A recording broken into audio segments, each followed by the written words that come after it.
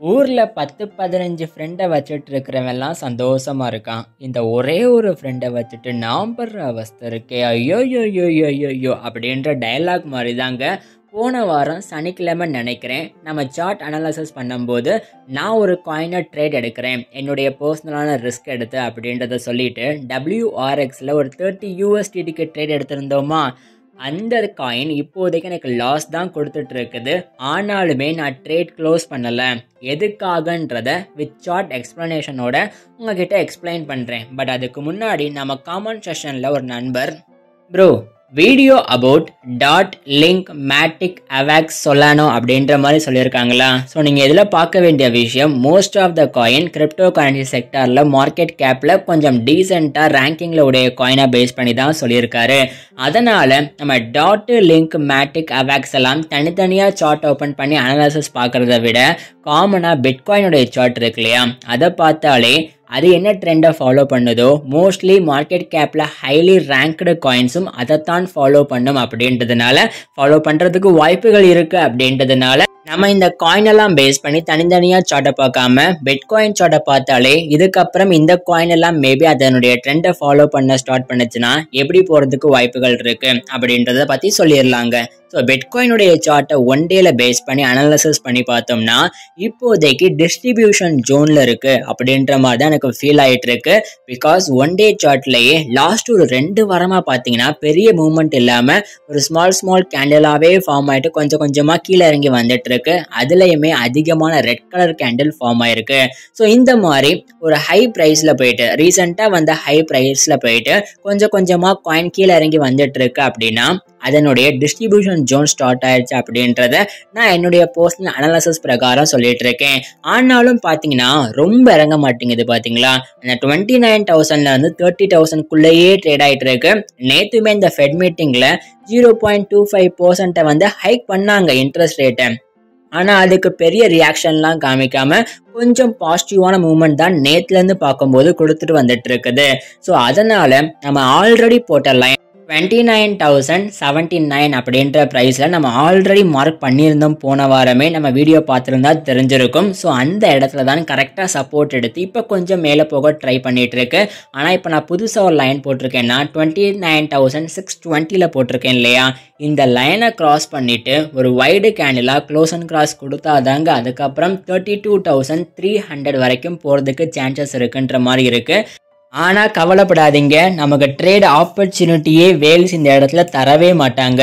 Because என்னதான் நம்ம protect பண்ணுற மாதிரி டுவெண்ட்டி நைன் தௌசண்ட் சிக்ஸ் டுவெண்ட்டிக்கு மேலே வைடாக க்ளோஸ் அண்ட் கிராஸ் கொடுத்தாலுமே அடுத்த ஒரு கேண்டில் அல்லது ரெண்டு கேண்டிலில் பெரிய க்ரீன் கலராக வர வச்சு நம்ம டார்கெட்டாக சொல்கிற தேர்ட்டி டூ தௌசண்டை ஈஸியாக ரீச் பண்ணிவிட்டு போய்கிட்டே இருப்பாங்க.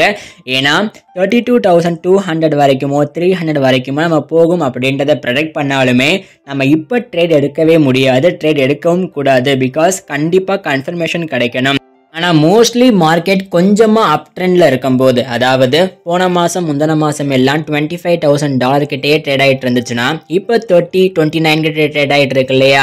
இங்கேருந்து தேர்ட்டி டூ அப்படின்றது டார்கெட்டாக இருந்தாலுமே மார்க்கெட் பீக்கில் இருக்கும்போது மோஸ்ட் ஆஃப் த பிகினர்ஸுக்கும் அல்லது ட்ரேட் பண்ணக்கூடியவங்களுக்கும் வேல்ஸ் ஆப்பர்ச்சுனிட்டியே தரமாட்டாங்க. பெரிய கேண்டிலாக ஃபார்ம் பண்ண வச்சுட்டு தேர்ட்டி டூ தௌசண்ட் ரீச் பண்ண வச்சு அதுக்கப்புறம் கொஞ்சம் கொஞ்சம் டவுனாக வச்சுருவாங்க. ஸோ அதனால் மோஸ்ட்லி இந்த இடத்துல கன்ஃபர்மேஷன் கிடைச்சா ஓகேங்க ஆனால் கிடைக்காம இருக்கும்போது கண்டிப்பாக ட்ரேட் போகாதீங்க. நம்மளால் இந்த இடத்துல அந்த அளவுக்கு அக்யூரஸியாக ப்ரொடெக்ட் பண்ணவே முடியாது. மேபி கன்ஃபர்மேஷனே கிடைக்காம பெரிய கேண்டிலாகவே ஃபார்ம் ஆகிட்டு தேர்ட்டி டூ தௌசண்ட் ரீச் பண்ணாலுமே ஓகே தாங்க. Thirty two thousand three hundred மேக்ஸிமமாக போனாலுமே ஓகே தான்.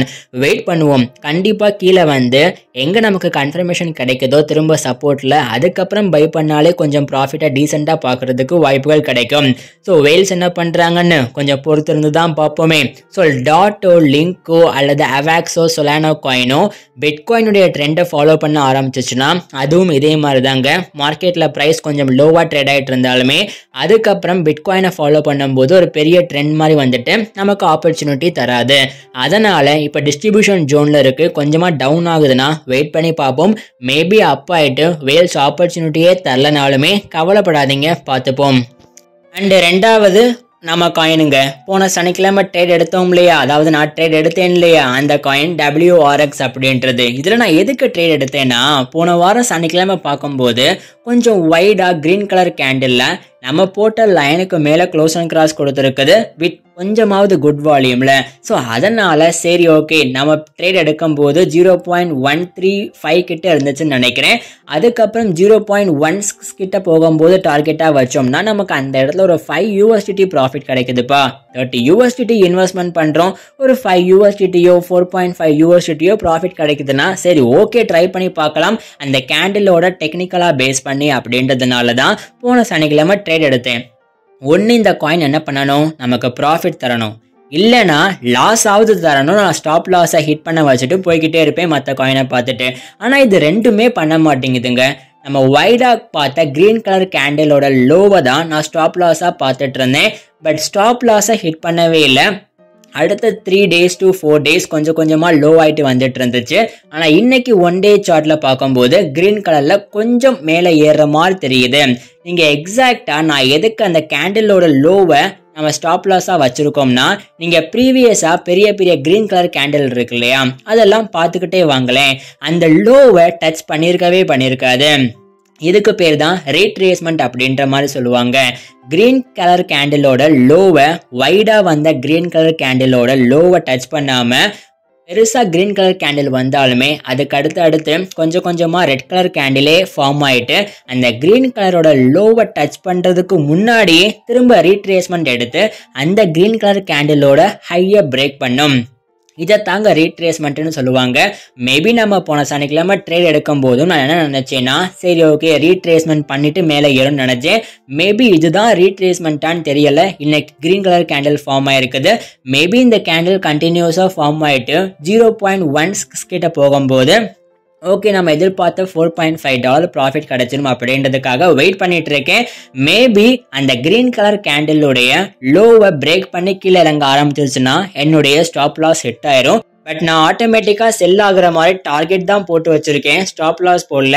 மேபி இந்த சார்ட் ஓப்பன் பண்ணி பார்க்கும்போது மேபி நாளைக்கோ அல்லது இன்னைக்கு ஈவினிங்லேயோ கொஞ்சம் கீழே இறங்க ஆரம்பிச்சிருச்சு. நம்ம ஸ்டாப் லாஸ் அந்த கேண்டிலுக்கு கொஞ்சம் கீழே இறங்கிருச்சுனாலே நான் இந்த ட்ரேடை க்ளோஸ் பண்ணிடுவேங்க பரவாயில்ல லாஸ் தான். ஏன்னா நம்ம ட்ரேட் எடுக்கும்போது தேர்ட்டி யூஎஸ்டிக்கு எடுத்திருந்தோம்னா இப்போவே twenty eight point one nine USDT தான் இருக்குது அதாவது one point seven USDT something பா நெகட்டிவில் தான் இருக்குது. மேபி இதுக்கும் கீழே இறங்குச்சுன்னா ஒரு த்ரீ யூஎஸ்டிடி சம்திங் லாஸ் ஆகுங்க தேர்ட்டி யூஎஸ்டிடியிலேருந்து பட் அக்செப்ட் பண்ணி தான் ட்ரேட் பண்ணுறோம் கிரிப்டோ கரன்சினாலே ஒரு சில காயினில் ப்ராஃபிட் தரும் ஒரு சில காயினில் லாஸுமே தரும். லாஸ் பார்க்குறோம் அப்படின்றது பெரிய விஷயம் கிடையாது. ஆனால் அந்த லாஸை மற்ற காயினில் கரெக்டாக டெக்னிக்கலாக பார்த்து ரெக்கவர் பண்ணி மேலே வர்றோமா அப்படின்றது தாங்க முக்கியம்.